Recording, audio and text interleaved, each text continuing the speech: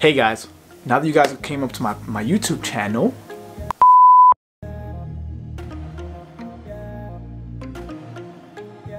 I hope you guys are having fun.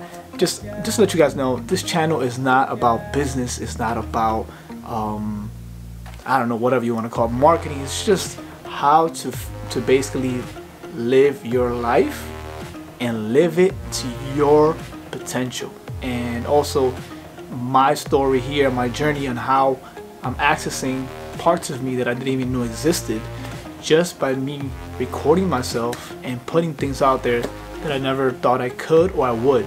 Um, and also giving everybody here the knowledge and the power that they can do the same.